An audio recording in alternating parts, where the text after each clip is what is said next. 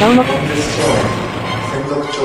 清少納言です。今回は先日発売されたアミーボのセフィロスを調教していきます。ぜひとも優秀な弟子として育てあ、じゃあこれから調教始めるぜというわけでアミーボセピポンを育てていきましょう。覚えさせたい技は横 B のシャドウフレア。好きな技なので習得してほしいですね。まだレベルも低いのでまともに戦闘すらできませんがしっかり調教していきます。アミーボのレベルは最大で50。これ以上は上がりません。しかしアミーボは50以上からが本番なので、スパルタ方式でいきます。吹っ飛ばないように体力制にしてあるので、シャドウフレアで撃墜はありません。親の間と思って紳士と受け止めなさい。それからアミーボ共通でレベルが上がることに強制的に攻撃力、防御力が少しだけ上昇します。そのため、レベルが上がったアミーボと戦うと、自身のキャラよりアミーボのキャラの方が強くなってしまいます。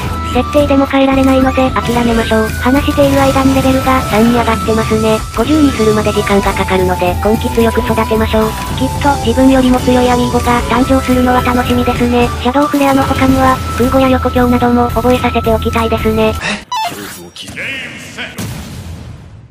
まあまだ赤子同然なので、崖が苦手なようなので、地続きのステージにしました。これなら大丈夫ませんギミックを踏みし忘れました。まあこの子もレベル16ですからもう大丈夫や死にそうなので出す。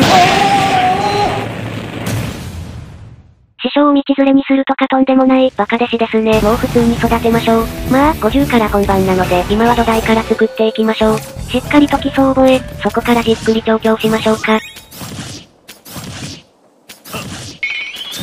別荘つばってカードセン別荘つばってカードセン別荘つばってカードセン別荘つばってカードセン別荘つばってカードセン別荘つばってカードセン別荘つばってカードセン別荘つばってカードセン一生着地かられてるんですけど、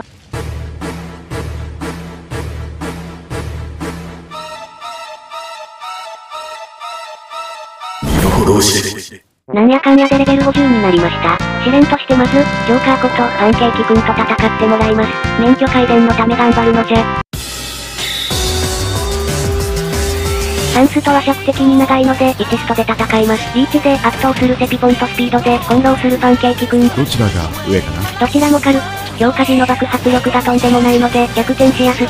逆転されやすい組み合わせですね。ここで着地狩りの展開で、鉄本大幅リード。しかしもう少しでパンケーキくんも、アルセイヌが来るので、と言ってるうちにアルセイヌが出現。試合が読めなくなりましたね。バースト力が大幅に上がるので、か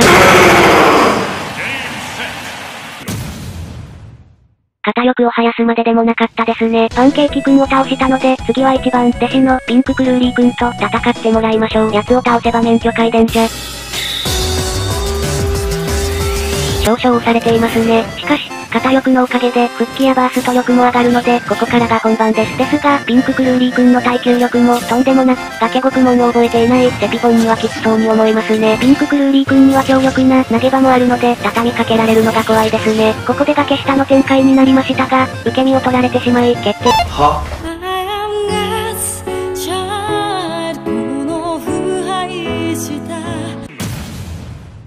お前クビやしかし、こんなことで免許改伝できると思うのか？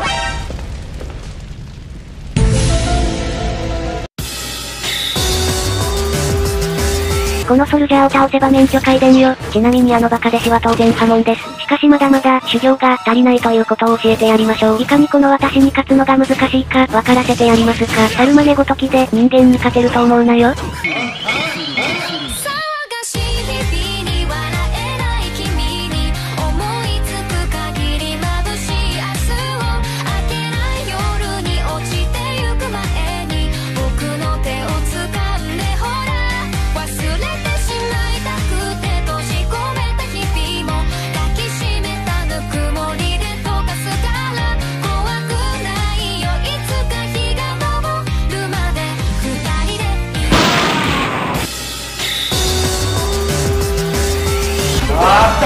バカども3人まとめてかかってきやがれ。たかが CPU ごときが人間様にかなうわけないだろ。今から力量を見せてやるから、かく。